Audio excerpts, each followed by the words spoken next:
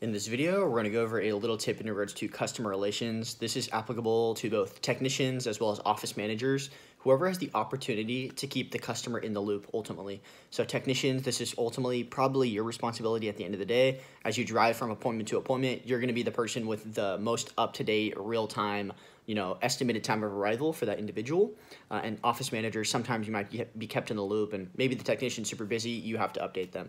Um, so the point being, in this case, you know, communicate to customers what your estimated time of arrival is.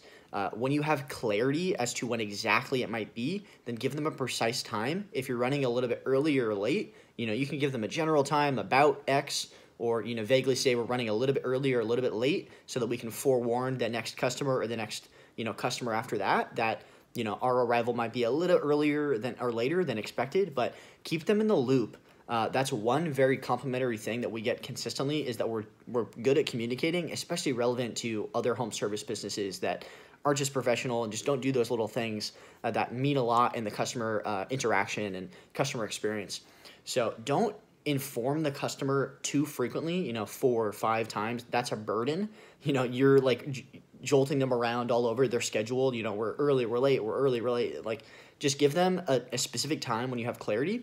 Uh, don't be a burden and give them a bunch of changes, but keep them updated, you know, once or twice throughout the day would be great. If you're early or late, if you're on time, you know, that's great. You can just send an estimated time of arrival uh, as you um, are trending towards being on time. So the point in this case, communicate with customers your estimated time of arrival. Uh, it's going to be huge in terms of their customer satisfaction.